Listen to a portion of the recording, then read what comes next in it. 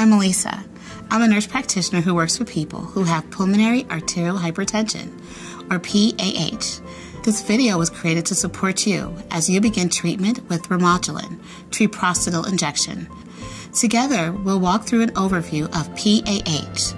We'll look at how intravenous or IV Remodulin therapy works, and I'll try to give you a better idea of what to expect as you begin your treatment. We hope that you will use this video as a guide to help you as you start taking Remodulin.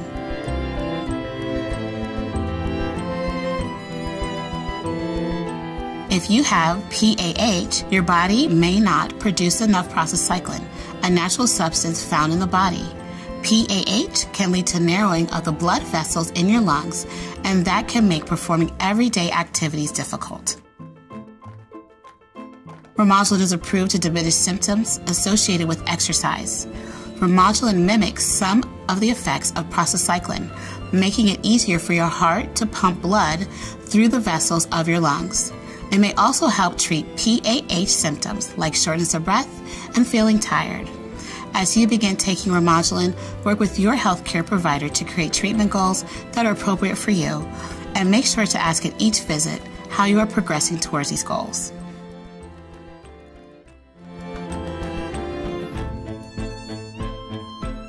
Remodulin is a medicine that is delivered to your body continuously using a pump that you wear. Remodulin is pumped through a tube that will be located in your upper chest. You and your healthcare provider have decided that Remodulin is right for you. Now let's talk a bit about what happens next. Your treatment with Remodulin IV begins at the hospital. Hi, I'm Janet, and I take Remodulin IV. While I was in the hospital starting my treatment, I worked with a team of people. There was my healthcare provider, my hospital pharmacist, the nursing staff, and the specialty pharmacy.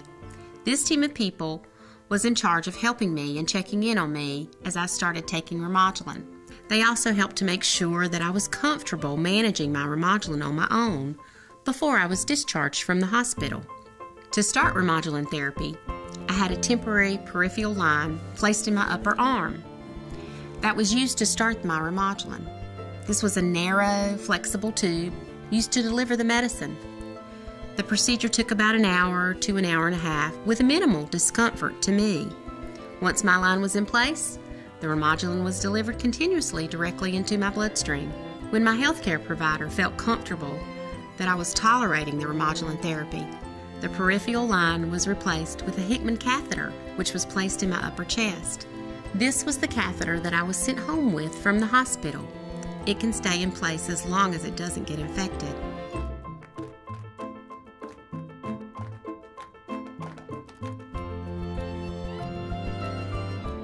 Hi, I'm Lily, and I'm a nurse practitioner. Unlike other medicines, Remodulin is not available from a traditional pharmacy. It comes from a specialty pharmacy. While you're in the hospital, you will work with a specialty pharmacy nurse to learn everything you need to know about managing your therapy. You will learn how to mix your Remodulin, care for your catheter, and use your infusion pump. If you have already received your pumps, it's important to remember to bring them with you to the hospital.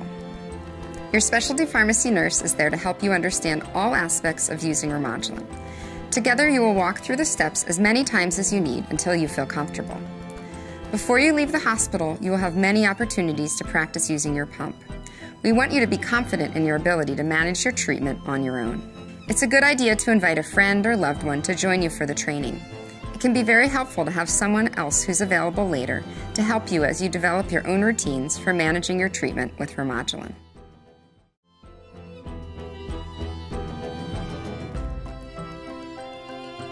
Your Remodulin will be started at a very small dose, and that will be increased gradually until your PAH symptoms improve. Some of the side effects of Remodulin IV include line infections, nausea, diarrhea, and headache. These are not all the possible side effects of Remodulin. If you think you're having any side effects, make sure to discuss these with your healthcare provider. By working together, you will find the Remodulin dose that is right for you. Once your healthcare provider is comfortable with you managing your therapy, you'll be discharged from the hospital to go home. There are pump options available for delivering Remodulin IV. If you have questions about why your specialty pharmacy or healthcare provider selected the pump that you have been given, it might be a good idea to discuss the features, risks, and benefits of that pump and other pumps at your next visit.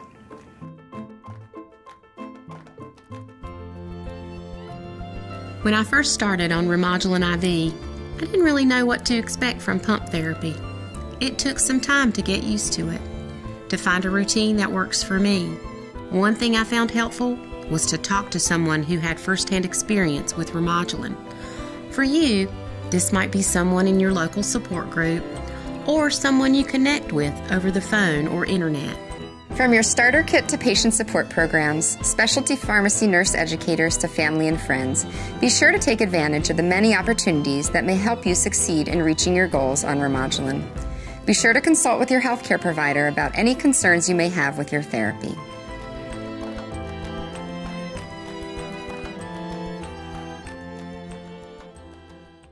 Remodulin treprostinil injection. Indication or what is Remodulin? Remodulin is a prescription medication used to treat adults with pulmonary arterial hypertension, PAH, WHO group 1, which is high blood pressure in the arteries of your lungs. Remodulin can reduce symptoms associated with exercise. Remodulin was studied mainly in patients with NYHA functional class 2 through 4 symptoms. It is not known if Remodulin is safe and effective in children. In people with PAH who need to switch from epoprostenol, Remodulin is approved to slow the worsening of symptoms. Important safety information for Remodulin. Before you take Remodulin, tell your healthcare provider if you have other medical conditions or take other medicines that may affect your use of Remodulin by increasing the risk of side effects or decreasing the drug's effectiveness. Have liver or kidney problems. Your Remodulin dose may need to be adjusted if you have liver problems. Have low blood pressure or bleeding problems are taking gemfibrozil for high cholesterol, rifampin for infection, or other drugs that affect liver enzymes, your doctor may need to adjust your Remodulin dosage. Are pregnant, breastfeeding, or planning to become pregnant? It is not known if Remodulin will harm your unborn baby or if Remodulin passes into your breast milk. What are the serious side effects of Remodulin? Continuous intravenous IV infusions of Remodulin delivered using an external infusion pump with a tube placed in a central vein within the chest are associated with the risk of bloodstream infections and sepsis, which may be fatal. Therefore, continuous subcutaneous SC infusion delivered just beneath the skin is the preferred type of delivery. Worsening of PAH symptoms. Do not stop taking or greatly reduce your Remodulin dose without consulting your doctor. Low blood pressure. Symptomatic hypotension. If you have low blood pressure or are taking drugs that lower your blood pressure, the risk of low blood pressure is increased. Bleeding problems. Remodulin may increase the risk of bleeding in people who take blood thinners, anticoagulants. What are the possible side effects of Remodulin? In clinical studies of SC infusion of Remodulin, most people experienced infusion site pain and infusion site reaction, redness, swelling, and rash. These symptoms were sometimes severe and sometimes required treatment with narcotics or discontinuation of Remodulin. IV infusion of Remodulin delivered through an external pump has been associated with the risk of bloodstream infections, arm swelling, tingling sensations, bruising, and pain. The most common side effects seen with either SC or IV Remodulin were headache, diarrhea, nausea, rash, jaw pain, widening of the blood vessels, vasodilatation, and swelling from fluid retention, edema.